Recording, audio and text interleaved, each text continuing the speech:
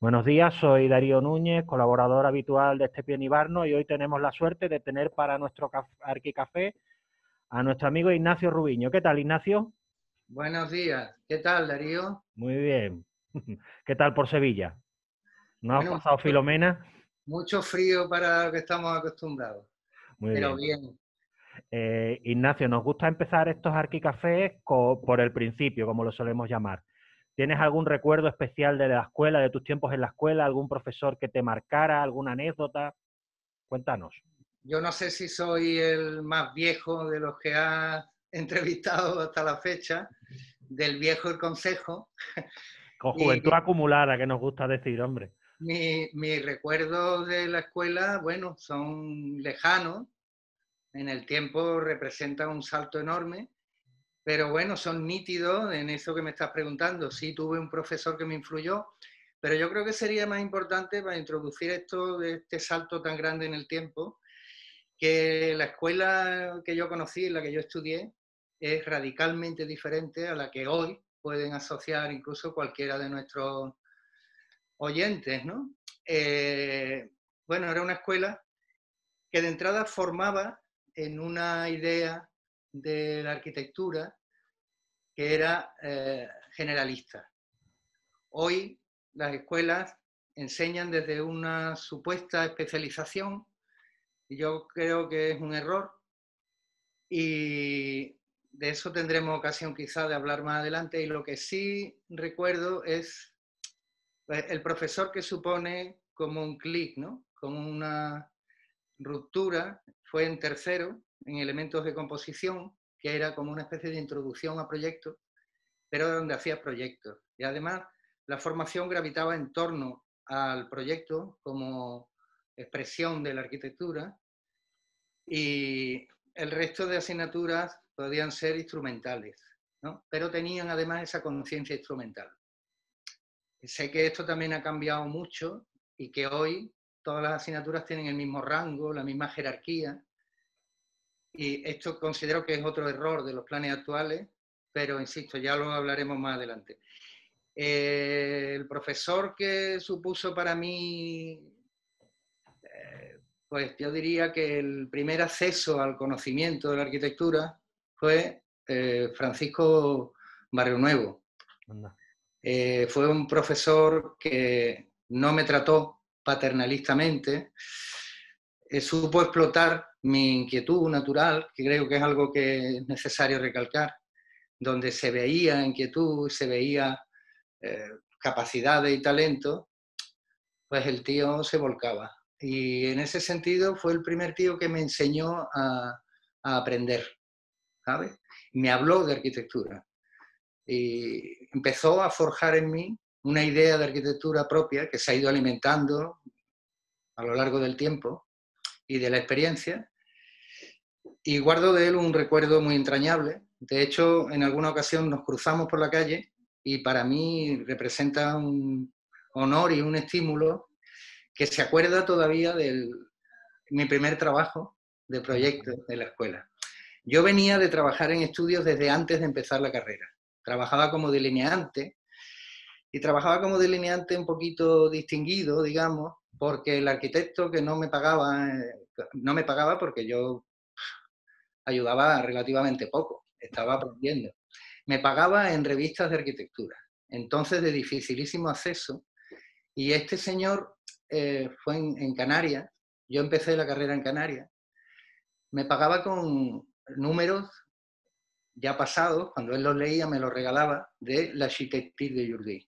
Entonces yo tuve acceso a la arquitectura que entonces se hacía en el mundo mediante esta revista a la que no tenía acceso casi nadie. En la biblioteca de mi escuela no la había. Y al llegar a Sevilla, desembarcar en esta escuela, mucho mayor, mucho menos familiar, sin embargo tuve la acogida de este profesor. Entonces lo recuerdo con cariño, mucha estima, un poco tendencia, ¿no? Francisco Barrio Nuevo. bueno, es que también sucede que en el momento, es que también es muy distinto el momento en el que yo estudié, porque se aunaba, eran momentos iniciales del tránsito a la democracia. Eh, yo empecé a estudiar con Franco vivo. Y esto esto curte, ¿no? Esto marca. Entonces, bueno, inmediatamente después vino un momento de entusiasmo, eh, parecía que todas las energías se volcaban en construir una sociedad democrática, que avanzara, que recuperara el tiempo supuestamente perdido.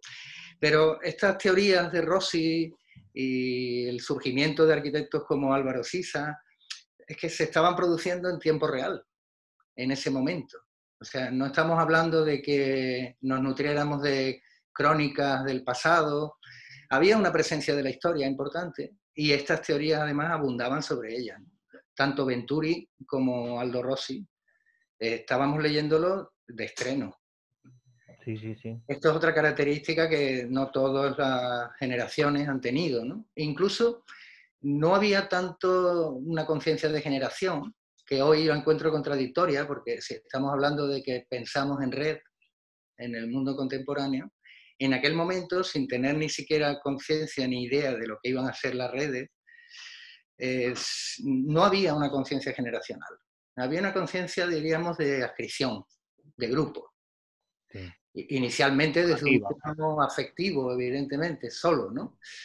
Y después, conforme íbamos adquiriendo una cierta idea nuestra, pues de afinidades. Afinidades con gente que veíamos que estaban en el mismo, diría, empeño que nosotros, ¿no?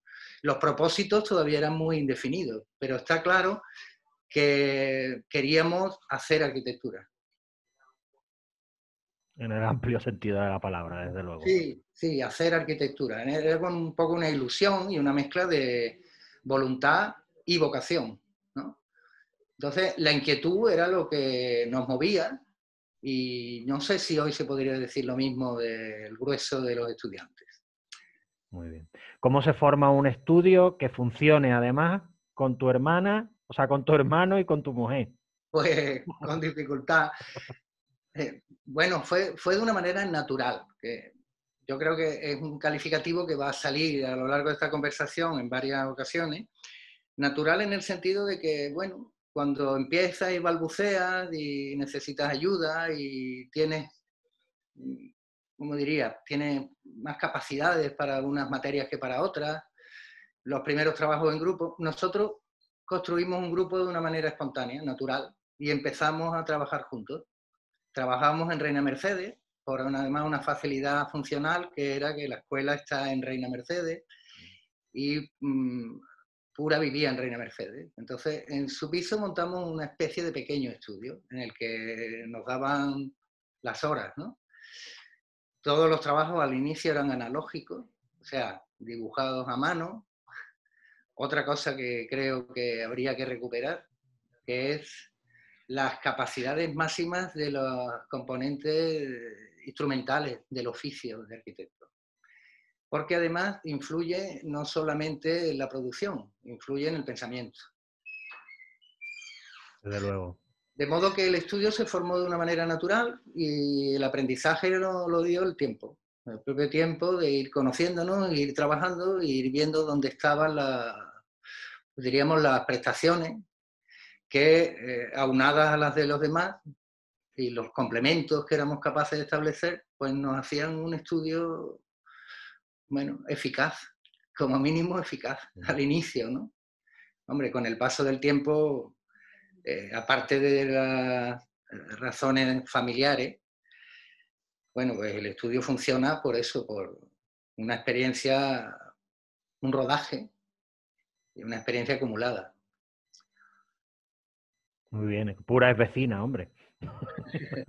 la familia de Pura, eh, las García Márquez iban que eran familia numerosa, iban con mis hermanas a la doctrina, que era también familia numerosa. Sí, era como la gran familia de Reina Mercedes, ¿no? También había profesores que vivían en la avenida. Bueno. Bueno, oye, construir menos, plantar más. Explícanos un poco esta afirmación, Sí, bueno, es una, es una afirmación que asume incluso ciertas contradicciones. Ciertas contradicciones porque con plantar más se arregla poco, relativamente poco. O sea, lo que quiero decir es que en todos estos años hemos pasado por un montón de situaciones de orden económico. ¿no? Hoy hay un mercado con una práctica ultraliberal que es rampante y que eh, toda concesión, todo proceso le parece poco respecto a lo que representa promover, ¿no? promover para construir. Esto lo aleja cada vez más de la arquitectura ¿eh? y no lo acerca a otras disciplinas como el paisaje, que también son necesarias tener en consideración cada vez más. Yo creo que vivimos en este momento, aparte de la lamentable situación en la que nos sitúa la pandemia, vivimos, vivimos también una emergencia climática, esto es una evidencia, aunque haya todavía negacionistas. Plantar más al final significa generar biomasa. Yo recuerdo nuestras primeras aproximaciones al tema del paisaje, todavía desde un punto de vista muy diletante, más entusiastas que, que conocedoras. Y recuerdo como Teresa Galí, una apenas estudiante de ingenieros agrónomos, nos decía, lo fundamental es generar biomasa, plantar más. Y yo lo traduzco como construir menos. O sea, construir menos en el sentido de que la arquitectura se distancia cada vez más y se arrincona en una parcela que no sé ahora mismo determinar qué representa para la sociedad. Eh, construir metros por construir metros en procedimientos que son puramente especulativos. Yo te digo que este transcurso desde los años iniciales de la democracia hasta hoy hemos conocido de todo, incluido el pelotazo. Y la cultura del pelotazo ha dejado en nosotros, en nuestra sociedad, una serie de vicios eh, que son de difícil borrado. solo construyendo menos podrían llegar a mitigarse los efectos de haber construido en demasía, y sobre todo con intereses puramente especulativos, nada sociales, que creo que es una de las componentes de nuestra idea de arquitectura. Hoy la arquitectura no reside, o por lo que conocemos por arquitectura, no reside tanto en el campo de la cultura, de la vasta cultura universal y de la cultura específica arquitectónica, como en un territorio vago donde están los mercados, está una profesión de servicios, y no es la profesión con la que me quiero identificar. Plantar más entonces es construir menos, ni siquiera plantando mucho se resuelven los problemas de orden ambiental, ecológico que tenemos. Ah, leí hace poco en un libro que, que me está gustando mucho leer, que se llama, es un libro de la editorial Turner, que he olvidado porque me lo quería traer para recomendarlo esta mañana, El Jardín de los Delirios, y el autor es Ricardo del Castillo y lo que viene a decir es que ni siquiera plantando masivamente sobre territorios que no tienen por qué tener otra utilidad, o sea, tenemos que encontrar la utilidad de lo inútil también ahí, pues que ni siquiera con eso somos capaces de que la masa, la biomasa, eh, sea capaz de absorber el CO2 que generamos los humanos, ¿no? en esta especie de carrera alocada hacia no se sabe dónde. Algunos dicen que son los estertores del mercado ultraliberal, otros dicen que son simplemente fases. Nosotros hablaba, yo hablaba con un amigo que, que ahora que ya que está casi todo construido, que teníamos que empezar a tirar, ¿no? A ir tirando cosas, los arquitectos, y a ir tirando cosas, ¿no? Bueno, demoler, demoler es una acción, al fin y al cabo, también arquitectónica y necesaria, ¿no? Viene a hablar un poco de procesos que pueden ser lo más esférico que seamos capaces de imaginar, ¿no? Donde la demolición, que es un acto de aparente violencia, puede llegar a ser tan poético como la construcción, ¿no? Si todavía alguien encuentra poesía en construir, ¿no? A mí lo que me gustaría sería aclarar la diferencia que hay entre la arquitectura, como la he conocido, como la he aprendido y la he disfrutado, y las prácticas contemporáneas que la alejan sensiblemente de esa idea de arquitectura. Hay mucho de inmobiliario, hay mucho de construcción pasiva, ingenieril, y es porque incluso el modelo de práctica profesional ha derivado hacia una especie de respuesta de, las demandas del mercado que sitúan a los profesionales de la arquitectura en un territorio ambiguo. La normativa, ¿no crees también que tanta normativa bueno, que si urbanística, que si código técnico, que si no sé qué. También esto hemos conocido muchas fases, ¿no? Desde las más entusiastas con el acceso a las nuevas tecnologías, que se llamaban así y se siguen llamando así, y que en muchos casos son simplemente evoluciones de técnicas tradicionales. ¿no? La arquitectura al final tiene una componente de gravedad a la que no puede renunciar, ¿no? peso y estática, y ahí se concentra la mayoría de las técnicas. Usar el vidrio masivamente no significa usar nuevas tecnologías.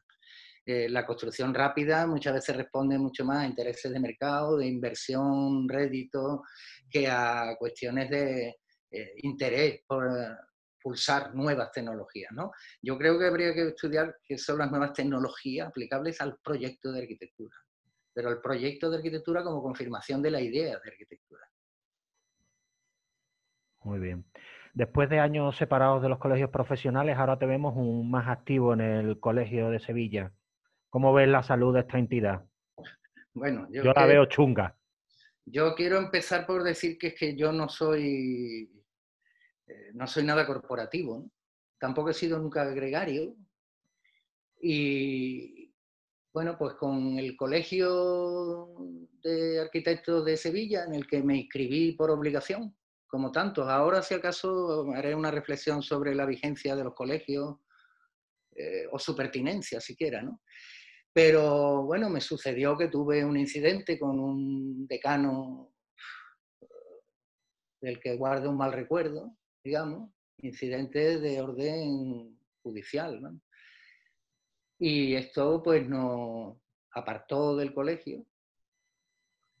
Cuando ha llegado este colegio nuevo, por simpatía con la decana, porque creo que hay que tener valor para afrontar la, casi la reconstrucción de una entidad colectiva que ha sido muy maltratada por la gestión de la anterior junta, pues me llamaron. Y al llamarme para que los asesoraran en un par de cosas, para participar en otras, pues yo lo hice encantado, pero bueno, ahí termina mi proximidad al colegio. De hecho, en esta junta nueva colegial todavía no he participado en, nada, ¿no? Y llevan apenas unos meses. Les ha tocado bregar con la pandemia. Y en breve voy a participar en una exposición colectiva, pero de dibujos, que es como una faceta que, creo que vamos a hablar de eso ahora después, ¿no? Que tengo desde mi infancia. Por ahí guardo algún, algún dibujo de alguna corrección de proyectos, ¿eh, Ignacio? En casa de mi madre. Es importante porque cuando uno no sabe expresarse verbalmente, eh, tiene una dificultad, pero cuando practicando la arquitectura no sabe expresarse gráficamente, tiene una doble dificultad. ¿no? Entonces yo creo que hoy, por ejemplo, es uno de los instrumentos a los que se ha renunciado, aunque a los estudiantes se les haga creer que el dibujo no es una cuestión instrumental, ¿no? Eh, el dibujo es casi, va implícito en la práctica de arquitectura. ¿no? He llegado a leer a gente muy joven que dice, bueno, nosotros desde el punto de vista gráfico vamos sobrados, manejamos todo y tal. yo estoy seguro de que no es así. O sea, esto, estas falsas seguridades, en lugar de concederse el privilegio de la duda, no creo que ayuden demasiado a poder desarrollar un vocabulario a partir de los vocablos más básicos. Yo creo que el dibujo está muy desatendido como uno de los instrumentos básicos de la arquitectura. a mí me, gustaba mucho la afirmación del Moro de José María del Moro, de que cogía un lápiz y se sacaba un ojo. Bueno, hay mucha gente que con un lápiz en la mano se puede saltar un ojo. Esto es de Pepe Llenas y un estimado amigo que creo que vive también en una situación de una cierta perplejidad, por lo que veo en algunas de las conferencias que hoy se pueden ver en redes, porque es un hombre que tampoco entiende por dónde va esto o hacia qué cimas se precipita, o, si todavía tiene algún sentido hablar de arquitectura tal y como él también la conoce. La arquitectura como arquitectura hace mucho tiempo que perdió su, razón, una, de sus razones, porque fue el proyecto social el que fue demolido por las prácticas ultraliberales del mercado. De modo que lo que hoy quizá no encuentre un asiento demasiado claro sea precisamente un encaje, la noción de arquitectura con la que nosotros trabajamos y con la que queremos desarrollar nuestra práctica. Muy bien. ¿Qué os ha resulta, perdón, resulta que es que los colegios profesionales, que me estabas preguntando y esto me, interesa, ¿no? O sea, ahora mismo no podríamos decir que la profesión de arquitectura, al menos en nuestro entorno más próximo, vaya bien. La arquitectura necesita de clientes, necesita también de una voluntad social de demanda de arquitectura. ¿no? Eh, hay contradicciones de todo orden. Yo he seguido una uh, jornadas online que está preparando la Dirección General de Arquitectura, que creo que ahora no se llama así, del Ministerio... de, Carnicero, ¿no? Sí. Eh, que hablan de la redacción de una ley que muchos países tienen desde hace muchos años de calidad en la arquitectura. No tanto de calidad en la edificación, que serían eufemismos ¿no? para constructores y para comerciales de materiales, como calidad en la arquitectura. El escenario donde se están desarrollando estas jornadas que he visto en canal de YouTube del Ministerio, resulta que es un palacio, un palacio neoclásico, un poco recargado, pasteloso, pero lo que se le ha ocurrido a quien haya montado esto es sentarlos en unos bloques de termoarcilla. ¿no? Yo creo que esto es una contradicción enorme con la calidad. ¿no? Habría que redefinir qué, significa calidad. Entonces, los colegios no sé hasta dónde participan de esto. Yo lo que quería decir de los colegios es que los colegios perdieron su razón de ser cuando eh, se liberalizaron las tarifas. Por unas leyes de la competencia, creo que mal entendidas o mal formuladas, por una Europa que en esto no es común está llena de territorios que tienen particularidades que los hace diferentes a todas luces. Hay países que como consecuencia de la anulación de las tarifas profesionales, o sea, de unos mínimos para percibir, eh, inmediatamente eh, la respuesta corporativa fue subir los honorarios. En el nuestro ha sido tirarlos, hasta el punto que ya se confirma que la componente artística de la arquitectura en una sociedad, bueno, bastante inculta, es precisamente la contraria. O sea, un artista tiene que cobrar por lo que hace. Entonces, eh, si los colegios estaban un poco para regular este aspecto, el visado no deja de ser un acto casi que era delegado de las administraciones públicas. Las administraciones públicas hace tiempo que no, bueno, no, no, están presentes en estos procesos, ¿no? que a mí me interesan. Ni se les espera tampoco. No, no, no. No están por una arquitectura de calidad, pero es que arquitectura de calidad es un eufemismo porque la arquitectura siempre es de calidad. Si no, no es arquitectura. Entonces, bueno, con el visado como una especie de alibi, con el visado como alibi, eh, los colegios pretenden que su vigencia en el tiempo y su razón de ser. Yo creo que no, no están para defender la profesión, tampoco están para tareas educativas y divulgativas, para eso está la universidad, que también parece haber desistido de, este empeño, ¿no? por lo menos del contrato social que la formulaba como lo que era. ¿no? Eh, el sitio para adquirir razones culturales y deontológicas. Hoy tú a cualquier eh, estudiante iba a decir de cursos iniciales, pero de cursos iniciales y también de cursos avanzados. ¿no? Le dice deontología y piensa que es una especialidad médica. Eh, todo esto se aprendía con el tiempo, pero también con una especie de acción tutelar de los colegios de arquitectos, que además entraban en razón política a todos los procesos en los que la sociedad se debatía y se formulaba. Hoy yo creo que asisten pasivamente pues a una degradación permanente de la profesión de arquitecto. Bueno, y la acompañan pues con algunos estímulos, como por ejemplo que el BIM parece que va a ser lo que nos va a sacar de todos nuestros problemas y chorradas de ese estilo, ¿sabes?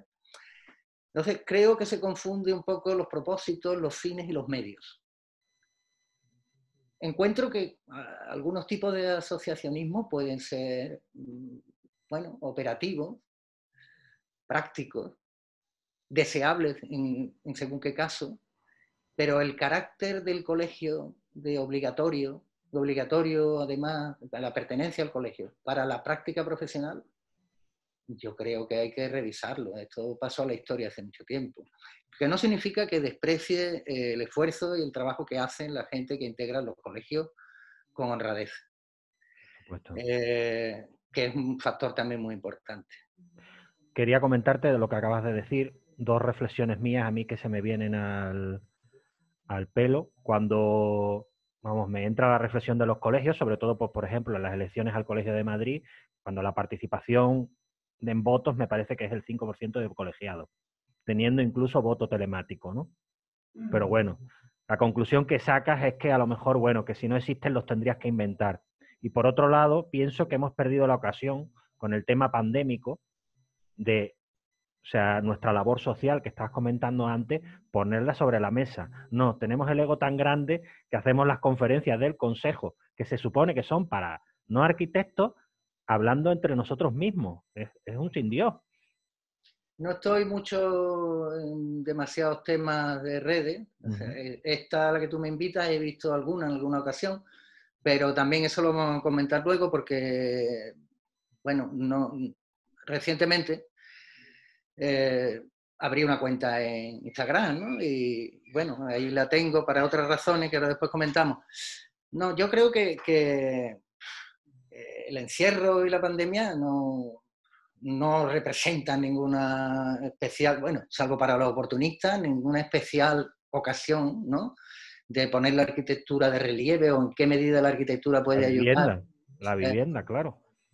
Bueno, la vivienda, pues que la vivienda tiene que ser mejor, pero esto viene con y sin pandemia. O sea, la vivienda es el resultado de mucho empeño, pero en los últimos años eh, ni existe vivienda social, eh, hay enormes problemas de desigualdad que afectan, como no, a la vivienda, hay la posesión de un parque inmobiliario bestial por parte de los especuladores, que lo han obtenido por las vías más espurias. Y así, así llegamos a que la vivienda, alguien dijo que había dejado de ser un problema de arquitectura. Yo pienso que sigue siendo un problema de arquitectura, pero no se orienta desde el punto de vista arquitectónico. Y no me refiero exclusivamente a algo tan simple como puede ser la investigación tipológica. Tampoco hemos cambiado tanto nuestra forma de vida. Resulta que los estándares y los parámetros con los que la vivienda resulta rentable para los especuladores pues no son precisamente los que necesitas para obtener una vivienda de calidad. Respecto a la ventilación cruzada, materiales que cumplan con todos los estándares de calidad que hoy se exigen, incluso desde el punto de vista sostenible. Sobre eso te quería leer algo, que es que lo he, traído porque, bueno, tengo que decir que conocía este cuestionario, no solo por otras arquicafés que he visto, sino porque tú me lo has mandado muy amablemente. Entonces, eh, incluso prácticas eh, declaradamente artísticas, como pueden ser la actividad de Rogelio López Cuenca, un artista que encuentro estimable al máximo, incluyen también reflexiones escritas sobre fenómenos de nuestro tiempo. Y tengo una que la leí recientemente en el país, que dice el crecimiento exponencial del modelo low cost, que se está refiriendo al modelo low cost de, todo, ¿no? desde la aerolínea y el alojamiento hasta el alquiler de coches, han conducido a un grado de masificación nunca visto. España recibió en 2019 más de 83 millones de turistas, rompiendo por séptimo año consecutivo su propio récord. Sin embargo, este tipo de turismo masivo, ahora en estado de parón global, pero yo creo que en latencia, ¿eh? añado, no deja de manifestar síntomas de agotamiento, de un lado, debido a las consecuencias de la reaparición en el mercado de otros destinos más competitivos al sur y al este del Mediterráneo, y de otro, por la sobreexplotación de recursos que conlleva, forzando al límite la capacidad de carga del territorio.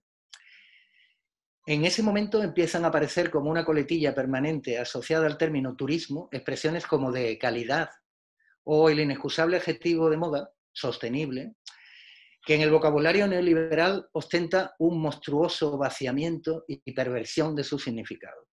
Seguir por donde íbamos, continuar creciendo a fuerza de ladrillo, acelerando hacia el colapso final.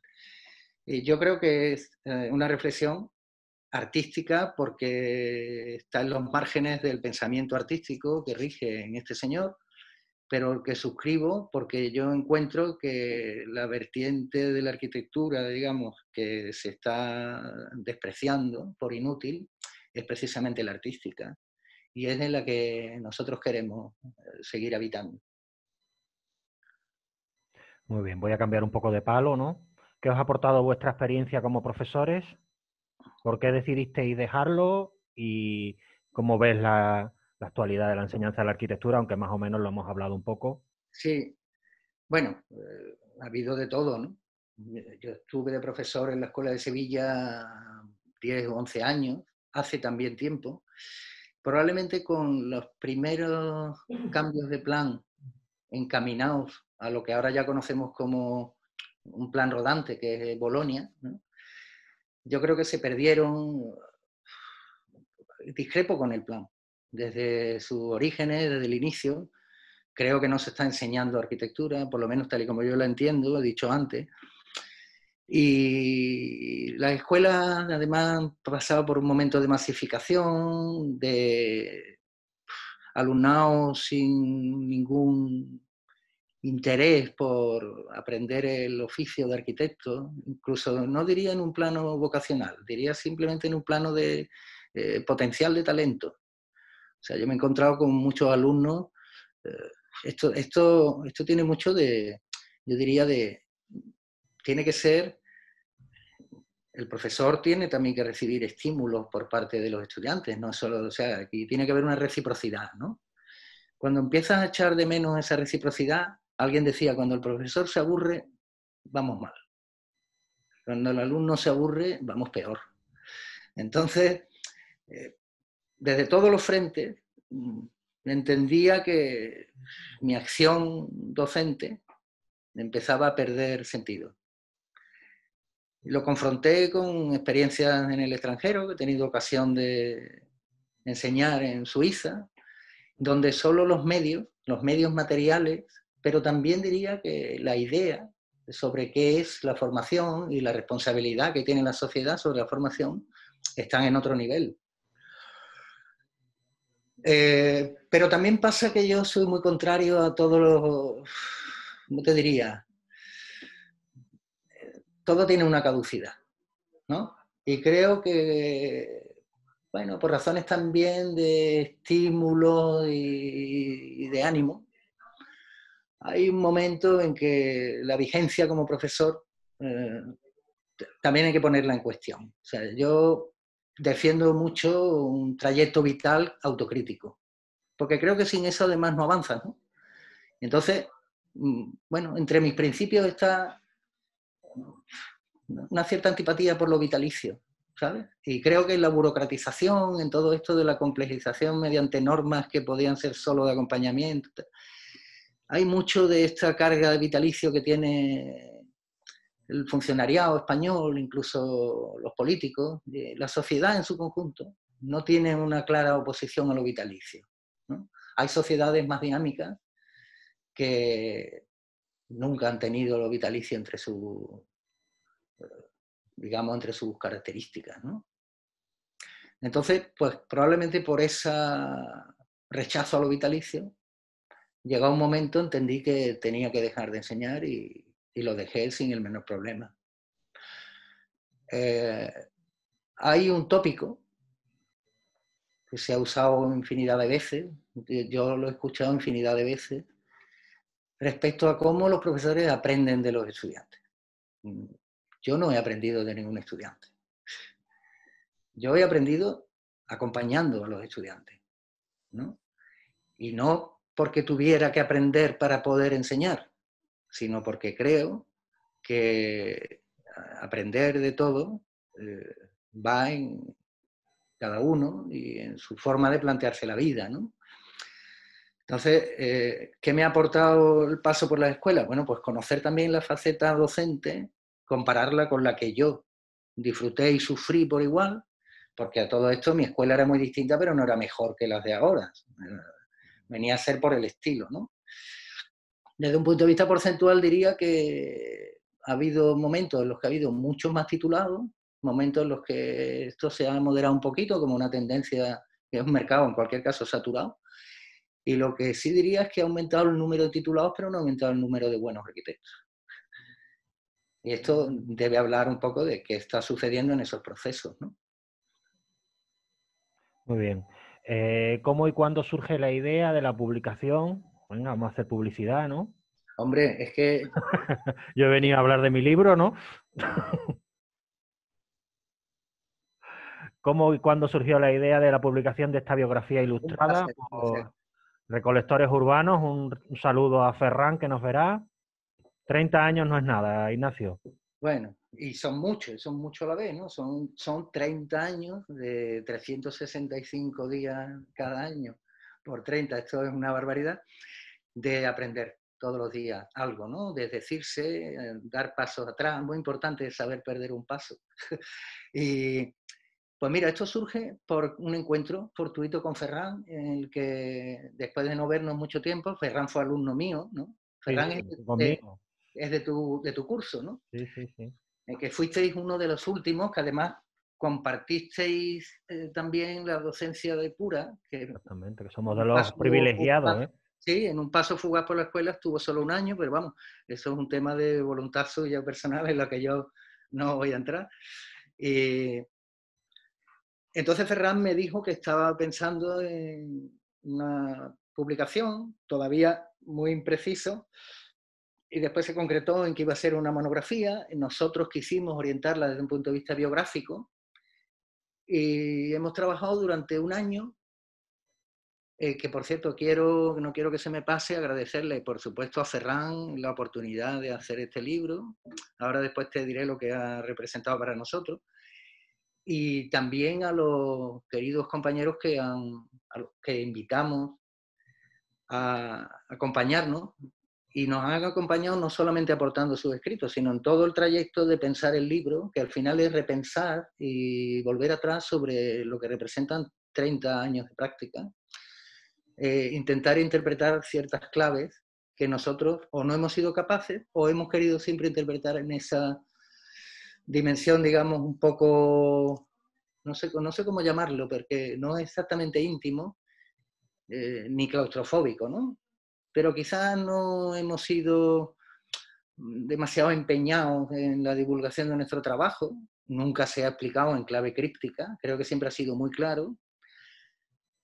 Pero bueno, no, parecía que el libro era una ocasión de poner en claro eh, ciertas notas de nuestro trayecto. Entonces quería dar las gracias pues, a Eduardo Sotomoura, que ya en su momento nos escribió ese texto que ahora hemos decidido editar para otra monografía que no llegó a salir, a, a Plácido, que desde la distancia está en Shanghai, hace el prólogo del libro, a Eduardo Sotomoura, que ya lo he dicho, a Paco Marqués, Daniel Montes y a Sol 89, porque han hecho unos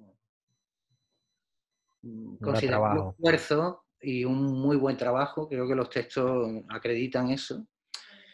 Y nosotros hemos trabajado bastante. Hemos aprovechado la pandemia porque en una actitud casi más eh, intimista, eh, casi refugiándonos un poco ¿no? de lo que representaban las noticias que nos llegaban a diario y tal, pues nos hemos concentrado en el libro y yo creo que ha quedado un producto muy apreciable. Para nosotros es no solo un objeto de afecto, sino un objeto de reflexión sobre cuál ha sido nuestro trayecto.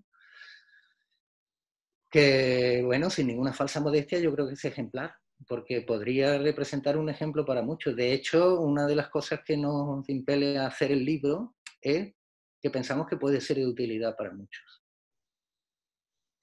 Y esto procede de un ejercicio de generosidad que es el de Ferran, ofreciéndonos la posibilidad de hacerlo. Pondremos el enlace a, la página de recolectores urbanos, está muy bien, yo lo he comprado de hecho, baratito. Sí, hombre, yo creo que... Es un precio muy razonable para la calidad de, para la 25, ¿no? Me parece, ¿no? Para la calidad de la edición. La de la edición es muy y el grosor y ya no te digo la densidad del contenido, que la tiene. O sea, tiene una densidad de 30 años. Yo recuerdo, además de verlo, me acuerdo de clases de proyectos, porque claro, tú cuentas un poco en las correcciones tu propia experiencia y dices, pues, me acuerdo, estábamos haciendo un concurso de no sé qué. Y digo, coño, mira, pues será este, ¿no? Y está muy bien, me, ha traído recuerdos el libro. Bueno. Incluso, a los que no nos conozcan en la faceta docente o más de proximidad, de vecindad, en nuestro caso, de una amistad entrañable, Eh, nosotros pensamos que la utilidad del libro está en un poco el esfuerzo que hemos hecho por transmitir, eh, expresar nuestra idea de arquitectura, que yo creo que es lo fundamental. O sea, eh, no se puede ejercer sin una idea de arquitectura. Una idea de arquitectura que puede ir evolucionando en el tiempo, pero que desde el primer momento tiene que estar presente en tu mente para poder ir. Yo diría que la idea de arquitectura es como el propósito, ¿no? El objetivo, pues que se vaya desarrollando y te vaya acompañando todo el tiempo para ver cuándo te desdices o te traicionas a ti mismo, ¿no? Y más en tiempos tampoco propositivos, ¿no? Así, hay mil prácticas que son absolutamente planas, ¿no? De hecho, yo creo que uno de los atributos de la... ¿Qué diferenciaría la arquitectura de esa otra práctica que yo no sé cómo calificar? Porque las hay que no son especulativas, ¿no? y que la mm, practican arquitectos que me merecen respeto, pero que no me ponen nada, no me emocionan lo más mínimo. Entonces, yo diría que, probablemente está en que en un caso hay una idea de, de, arquitectura que incluye la densidad de la historia, el peso del tiempo, de los trayectos, de tantos, de tantos esfuerzos que se, a lo largo de la historia se pueden registrar, para al final integrarse en una especie de red anímica, diría, que le aporta a la arquitectura no solo complejidad como hecho cultural, sino que le aporta también un cierto calado, un peso emocional. Y que eso es lo que lo diferencia de esa práctica pasiva que pueden hacer miles de estudios con mucha solvencia, porque se trata de hacer render fastuosos. Bueno, reproduciendo las palabras de Anachu en el del tirador a la ciudad sobre vuestra dilatada, analizando todo positivamente, eh, finaliza con esta frase. Luego llegó el silencio, ocho años sin construir. ¿Es ese el premio por, hacerlo, por haberlo hecho bien? ¿Hicieron algo mal? ¿Hicisteis algo mal, Ignacio? ¿Esa es tu pregunta? Sí. Yo me la he hecho en alguna ocasión, sobre todo en momentos de más bajón anímico. Pues yo creo que no. Quizás, fíjate, eh, siendo un poquito irónico, diría que lo peor que hemos hecho ha sido confiar en exceso en nuestro medio. O sea, eh, nosotros hemos desarrollado el grueso de nuestra carrera, el 99,9%, salvo alguna excursión de concurso, y en el momento más ágido de la crisis del 2008, eh, en la que hemos salido, eh, algunos territorios y hemos hecho proyectos que no se han logrado porque en realidad estábamos acompañando a gente que estaba exportando el modelo que nos había conducido a nosotros a la crisis, ¿no?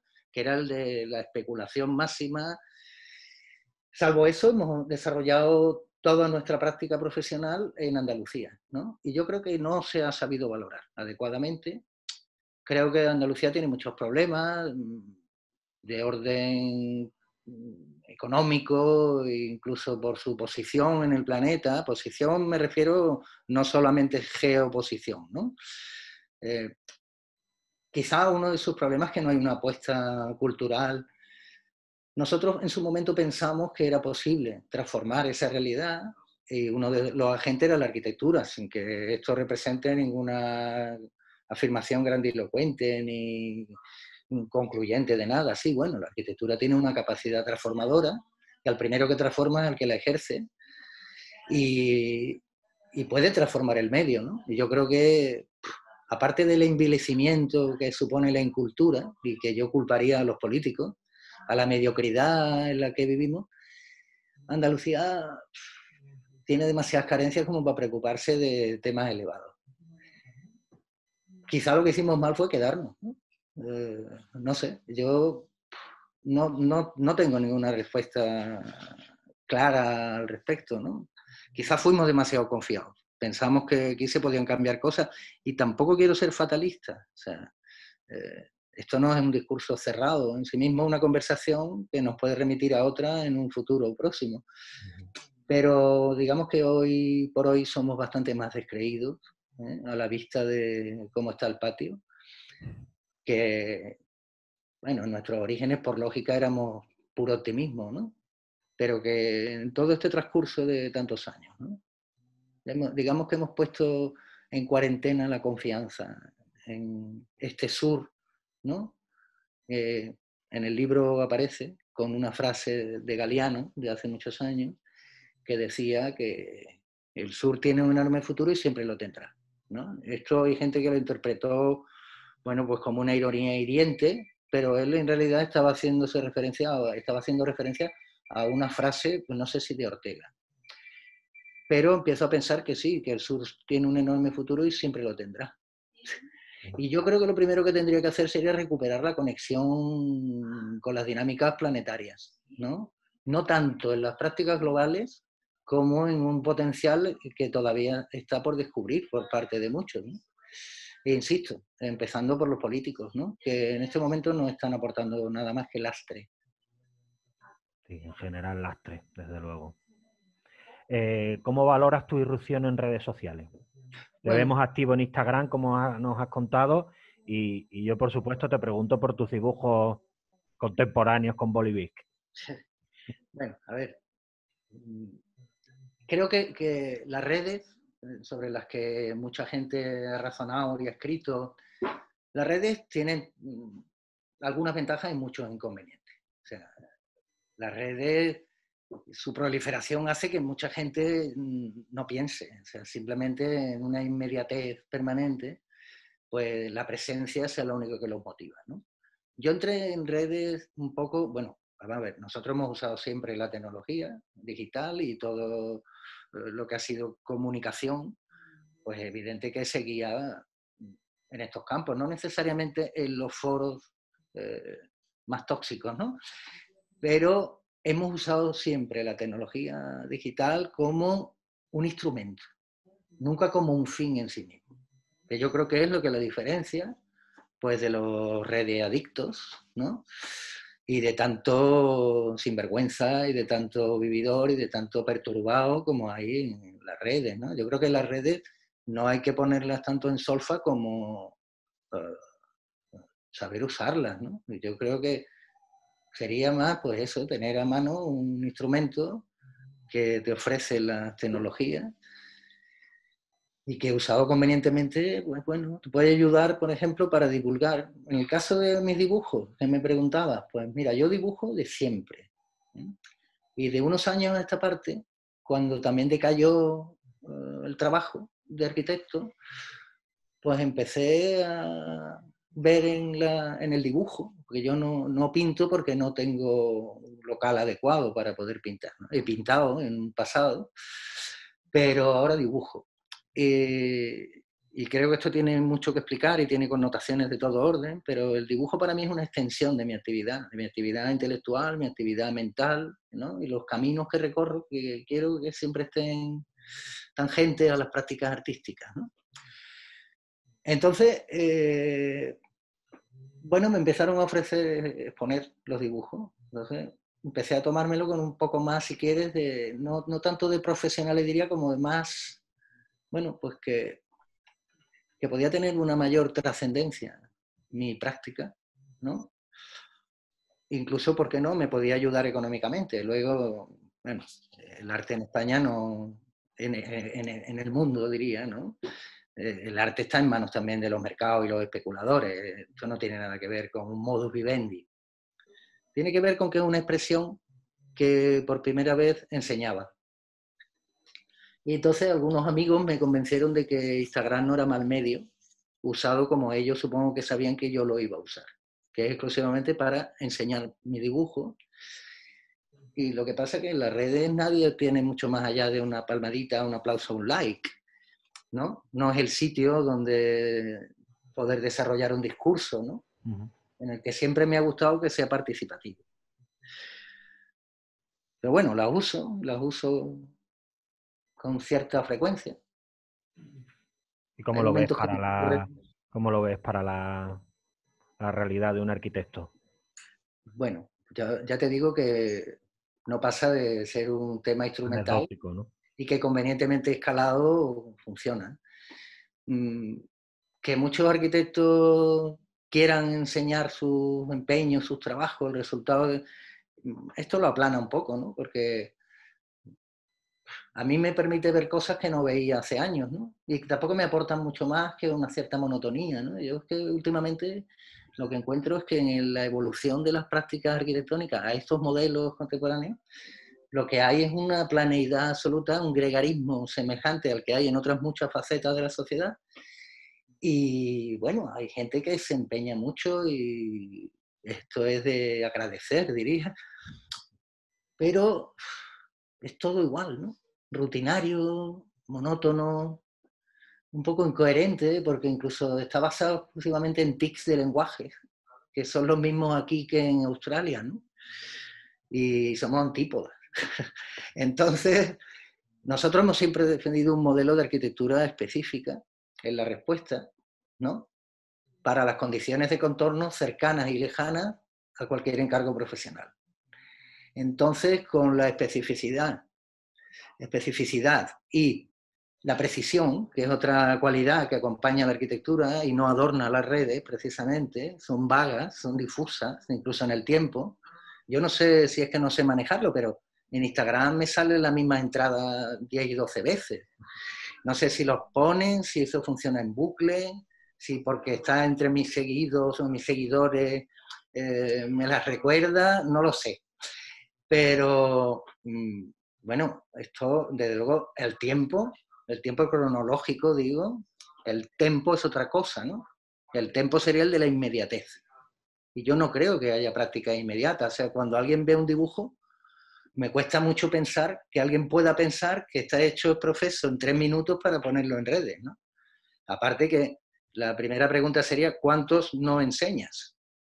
para enseñar los que enseñas. ¿Sabes los, croquis, de Hall, de Stephen Hall, son reales o son a posteriori? Yo no, sé cómo, cada uno usa el dibujo. Nosotros hemos, hemos sido siempre muy enemigos de enseñar eh, los croquis, ¿no? Los croquis, porque son cocina, ¿no? Alguien dijo la cocina no se enseña, mm. porque normalmente se utiliza como un argumento que un poco quiere justificar eh, lo perverso o lo idóneo de un plato, ¿no? Y decía, ay, perdón, he invitado a cenar a alguien y resulta que eh, me he quedado muy mal, pero me he esforzado mucho, mira cómo he dejado la cocina, ¿no?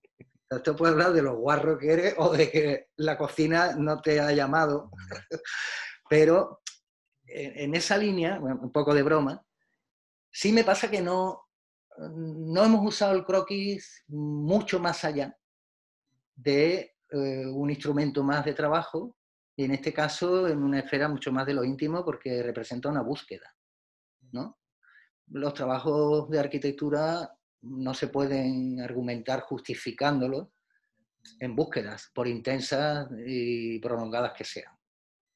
Yo creo que el trabajo se enseña en otras claves, pero no es el contrario a que alguien enseñe croquis, sobre todo si dibuja bien. Para mí es un placer ver croquis de muchos compañeros que creo que son tan precisos en el dibujo como en la resolución final de un tema de arquitectura, ¿no? sea un edificio, sea un fragmento de ciudad, un parque o lo que tenga que ser. Eh, se habla de la rehabilitación como motor para tirar del carro en estos años. Vosotros que habéis hecho mucha vivienda, ¿cómo veis el tema? En España, sobre todo, Andalucía, si quieres en particular. Sí, bueno, no sé muy, verás, mm, hace poco tuve ocasión de ver un programa de arquitectura en televisión, que no recuerdo porque lo emiten a una hora, es un programa bastante conocido, sí. enseña obras contemporáneas. Creo que lo presenta un arquitecto una chica arquitecto y también... Nuria Moliner, ¿no? Es que no, no te sé decir, ¿no? Eh, ¿no? ¿no? recuerdo el nombre del programa. Está tematizado, en unos casos habla de rehabilitación, en otros... Vi un programa de eso, eh, donde enseñaban pues, varios ejemplos, aquí en Cataluña, y después vi un programa a los pocos días. Escala humana, que se me ha ido a mí también. Ah, escala humana se llama, sí. Sí, he visto en alguna ocasión, he visto alguno, pero ya te digo, me viene muy a deshora con mi dinámica rutinaria, diaria y no... Entonces, eh, esto contrastaba, digo, con un documental sobre áreas rehabilitadas en Alemania, en Estados Unidos, de pasado industrial, eh, incluso 22 arroba, uno de los ejemplos que metieron, abundaban más en los procesos participativos, en una especie de alternativa a la oficialidad, pero todas involucraban a las administraciones y presentaban una escala que en sí mismo era un factor determinante. O sea, no es lo mismo coger el área del RUR y proceder a una rehabilitación ambiental, incluso material, de los restos del pasado minero, ponerlo en valor, dotándolo de actividades, que coger una casa aquí, ponerle una carátula a un proyecto y decir para apartamento turístico. O sea, esto no tiene que ver. De hecho, yo creo que una es nefasta porque está encubriendo eh, un error permanente que es poner todos los huevos de la economía en el mismo cesto y producir gentrificación y producir un sinfín de problemas a los habitantes, como es la dotación masiva de apartamentos turísticos, que restaurar en la cuenca del Ruhr. ambos proceden de una voluntad política. Indudablemente una es mucho más elevada que la otra. Yo recuerdo para la mina de Zollverein un proyecto de OMA, que luego pude ver en una película sobre Pina Bausch, en uno de los pases, en una película muy bonita de Wim Wenders, sobre la coreógrafa Pina Bausch, en la que aparece eh, esta zona pues como un parque de esculturas. Hay otros, hay algunos incluso próximos aquí en Andalucía, en la provincia de Cádiz que ahora mismo no me viene el nombre de este parque de escultura de Regina, bueno, Campo Baeza tiene un proyecto para un pabellón allí y allí hemos podido ver esculturas de Sol Levitt y, y de James Tarrell, entre otros muchos apreciabilísimos artistas. Esto no deja de ser una restauración paisajística ambiental de un área. Entonces yo creo que ambos, decía, la entidad de este tipo de intervenciones eh, se mide un poco no solo por su impacto posterior, sino por la voluntad política de respaldarlo y de la asunción de costos que el mercado no va a producir. O sea, el mercado hoy eh, no es mecenas de nada. En cualquier caso sería pues casi carroñero, ¿no? de algunas prácticas que precisamente se quedan sin tutelaje. Yo creo que es muy importante la presencia, no la omnipresencia, pero sí la presencia de las administraciones públicas en todo proceso que se quiera llamar de rehabilitación. Y muchas veces es eh, sabiendo balancear perfectamente los, digamos, beneficios que le pueden dar al inversor, al promotor privado necesario en tantos casos, como que redunda para bien colectivo. ¿no? 22 arroba en concreto, en función de la edificabilidad que concedía, acababa obteniendo, pues creo que un rendimiento del 30% de la titularidad del suelo. Pasaba a ser el suelo público. Luego se podrá discutir sobre la bondad o perversidad de cada intervención en concreto, o sobre si nos gusta o no nos gusta, que sabes que es un calificativo que no me agrada porque considero que es culinario y no es arquitectónico. Lo arquitectónico se valora desde lo arquitectónico, se referencia en lo arquitectónico y siempre insistiré sobre eso. Contra la rehabilitación no tengo absolutamente nada. ¿no? Hay, de hecho, hay un parque en desuso en España enorme y no solamente hay que adaptarlo en cuestiones de esta eh, sostenible o ambiental. A mí me parece que no tengo muy claro lo que es lo sostenible, ¿no? que sin embargo me intriga por qué lo tiene tan claro el mercado libre especulador, ¿no? cuando ellos son insostenibles. ¿no? Lo que sí tengo claro es que, que, no, que no es sostenible, que es insostenible. ¿no? Y, por ejemplo, es insostenible construir edificios con este neomaterial que es el muro cortina con vidrio multicapa, multilaminar y multiprestaciones, y que luego necesitan de las centrales de aire acondicionado más grandes del planeta, ¿no? Pero eso pasa aquí y pasa en Alemania. Porque... Sí, en Segovia, ¿eh? tenemos un ejemplo que si quieres luego te mando por mail, unos muros cortinas, yo para los menos 7 grados bajo cero va a estar estupendo, vamos. Claro, reducir las prácticas a eso. Antes se me ha olvidado decir otra cosa que creo que es importante, o sea, la, la no presencia de la administración ahora mismo en los procesos. Quería yo terminar por, por decir esto que los concursos de arquitectura han sido una de las formas tradicionalmente más eh, útiles para dotarse de buena arquitectura. Esto está incluso recogido en cartas pretéritas de Alejandro de la Sota, Franklin Wright, que procede de un mercado radicalmente distinto al europeo. Pero se hablaba del concurso de arquitectura, hoy está envilecido, hasta eh, punto, mucha gente no cree en los concursos. Yo sigo creyendo en los concursos, pero pensando que tienen que cambiar mil aspectos. Eh, esto en relación a la administración, o sea, la administración no debería ser el único agente mediante el que dotarse de arquitectura. ¿no? Voy a quitarle el buena porque es redundante. La arquitectura siempre es buena. Decía Aldo Rossi que para la mala arquitectura no hay explicación, como no la hay para un puente que cae. Es obvio que un puente no nace para caerse. ¿no? Entonces, eh, los concursos de arquitectura necesitaban una revisión y para esto se necesita pues, una voluntad también de los políticos eh, que entra en clara contradicción con la ley de contrato de las administraciones públicas vigente en España, que hace que los arquitectos pierdan su, diría, esforzada y honrada trayectoria profesional en muchos casos porque la limita a tres años. O sea, si, yo soy contrario a lo vitalicio, a lo que no soy contrario es a la obtención de unos méritos que deberían estar de por vida ahí. Entonces, todas estas contradicciones las podía resolver un representante. ¿Quién sería? Un colegio de arquitectos reformulado. ¿En qué clave? No lo sé. Los clubes privados no te enseñan los estatutos. Tú eres el que te enteras y te apuntas a uno u otro en función de lo que quieres como prestaciones. ¿no?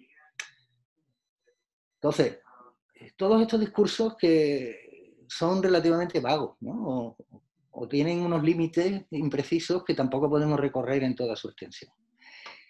Pero sucede que eh, la rehabilitación, que es otra palabra que está mm, en riesgo de gastarse, ¿eh? en muchos casos no es rehabilitación, es momificación de algo que ya era cadáver y que... Sí, que a lo mejor está mejor lo que hablábamos antes, tíralo directamente. Claro, entonces, además, mm, que hay conjuntos reglamentales y normas y planes generales y tal que tampoco ayudan mucho, ¿no? Porque al final hay un sinfín de pega para intentar hacer algo que mejora sensiblemente lo existente, porque las normas como los colegios igualan y te igualan por abajo. Y esto es lo malo de las rehabilitaciones que pueden surgir aquí, porque me has dicho específicamente en este área también y tal, pues pienso que son muy mediocres, pero son muy mediocres porque las normas que hay que cumplir son muy mediocres. Entonces ponen en valor cuestiones que no tienen ningún valor en ciertas edificaciones, mm, no están actualizados en sus bancos de protección ni nada por el estilo, ¿no? ¿Cuántas veces nos hemos enfrentado a un edificio que, hay que conservar una escalera que hace inviable su rehabilitación con un cambio de uso, pero es que esa escalera es inamovible y luego resulta que la escalera es una porquería de escalera. Así, así, son mil cosas que no están en un adecuado balance, ¿no? Yo pensaba que esta charla tenía que llevar casi una conclusión que era más o menos que las cosas tienen que ser armónicas. Armónicas en una perspectiva holística, pero nada nada ideales en un mundo feliz. Al contrario, o sea, creo que, falta autocrítica y falta crítica. Hay muy poca gente que esté dando caña. Y creo que vivimos un momento en el que hay que dar caña. Estoy convencido. ¿eh? Y entonces, solamente los que ejercen la autocrítica están en disposición de recibir la caña. Hombre, la caña indiscriminada y chunga, no, ¿no? Porque esa procede de lo peor, ¿no? De los envidiosos, de los mediocres, de los que son multitud. Eh, yo estoy hablando de cómo tener una visión positiva de todos estos procesos de enajenación y también de, de contradicción entre los que nos movemos. ¿no? Y yo creo que es exclusivamente haciendo tu trabajo. haciendo tu trabajo. ¿Eh? Qué fácil, macho. Bueno, es que el mensaje no puede ser eh, bobalicón, ¿no? Eh, tiene que ser el que tiene que ser, ¿no? Una de las cosas que me sacó de la docencia, pues mira, la gente no quería oír lo que tenía que escuchar. Es que cuesta, es que cuesta, claro. Estamos en una sociedad burbuja, ¿no? Como ahora. Y esponja, ¿no? Y sí. ya está, y con, un, con unas emoticono de aplauso ya hemos resuelto un problema de autoestima, ¿no? Eh, no sé, tú, entiéndeme, creo que estas cosas hay que afrontarlas desde una posición adulta, ¿no? y además, por supuesto, vas a llegar después a una obra y, es que te la van a meter, si no... Una, una, de las cosas que yo creo que están aplanando tanto esta práctica, que insisto que no le quiero llamar arquitectura, no tampoco le tengo que poner ningún otro nombre, es la puerilidad con la que se afronta. ¿no? Y las etapas pueriles, como las adolescentes, son carencias. ¿no? Entonces, significa que... yo no soy psicólogo, ¿sabes? Pero creo que tienen solución, ¿no? Que es que pues uno tiene que saber analizar y hacer crítica y, por supuesto, renunciar a la crítica en un estado de supuesta libertad me parece que es una estulticia. Yo pienso así. Soy viejo, entonces a lo mejor es que tampoco me gustan muchas cosas de por dónde ha ido el mundo, ¿no? Y creo que sin, sin nuestra colaboración, ¿no? No, no, no hemos sido, no hemos participado mucho de las cosas que han ido a peor, ¿no? Y, y no me gustaría que el mensaje fuera que yo lo veo desde un punto de vista pesimista. Sí puedo tener una cierta nostalgia ¿eh? de cosas que creo que no está bien que se hayan perdido. Pero desde luego con nuestra connivencia no se ha hecho ninguna tropelía. La conciencia la tenemos tranquila, ¿no? Sí, bueno, somos al final somos judíos cristianos y tenemos nuestro, ¿no? Poquito de moral sobre el, eh, bueno, el bien y el mal, ¿no? Que no, deja de ser las dos caras de una misma moneda, ¿no? Lo que hay que saber es cómo esas dos facetas se tienen que poder eh, negociar. Muy bien, Ignacio. Y para terminar, ¿hacia dónde crees que va la arquitectura? Que más o menos lo hemos hablado, o hacia dónde quieres que vaya, o deseas. No, a ver, la arquitectura yo creo que va mm, donde siempre ha ido. Lo que pasa es que cada vez hay menos. Yo creo que la arquitectura es, mucho más un recorrido que, una meta, ¿no? El, propósito es lo importante, ¿no? Operar con todos los instrumentos a tu alcance para, eh, bueno, para no zaherir a la arquitectura, ¿no? Tampoco es que sea de una extremada trascendencia para los no arquitectos, pero claro, que yo no me puedo poner en el papel de un no arquitecto. Yo sé de arquitectura porque, bueno, es mi vocación y para lo que me he preparado y he recorrido durante... Son más años que los que pone el libro, ¿eh? pero bueno, ha habido años ahí más intrascendentes donde nos dedicamos a estudiar mucho, por cierto. Pero ¿hacia dónde creo que va? Bueno, ahora mismo se está convirtiendo en otra práctica y solamente queda algún reducto donde, tal y como a mí me interesa y la he intentado orientar siempre, permanece. ¿eh? Eh, creo que tiene que tocar más a los sentidos, tiene que, tiene que despertar más preguntas que respuestas, ¿sabes? Entonces, no sé a dónde va. Si fuera divino, sé dónde está, y sé que está un poco acosada por estas otras prácticas, ¿no? Y creo que pues podría, por ejemplo, cambiar los planes de estudio con los que se intenta enseñar. Creo que podría cambiar la titulación. A mí no me importa renunciar a determinadas cosas si me dejan seguir haciendo lo que hago. ¿Sabes? Y bueno, hay otra gente que seguro está mucho más cómodo en esos otros lugares, ¿no?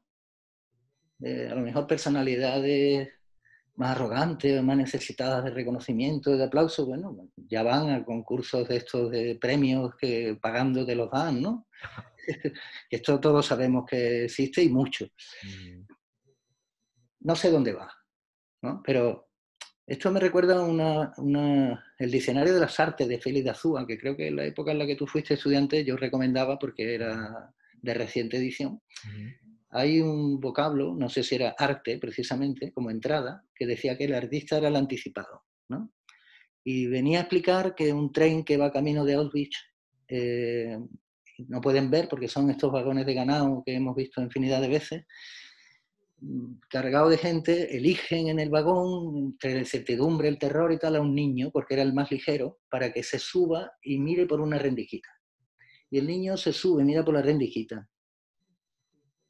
Y lo que ve es un paisaje nevado, y ve soldados a los lados de la vía, y ve perros, y, entonces dice, cuando lo bajan y le insisten en que dé su, el tío, eh, desde la infancia, una mente limpia, mm. solo es capaz de decir, no sé a dónde vamos, pero no es bueno a dónde vamos. Entonces, a mí me pasa con la arquitectura un poco eso. Aunque tengo también mucha esperanza en mucha gente, mucha no, en gente que me consta que se empeñan diariamente eh, y hacen su trabajo, que ya es, mucho.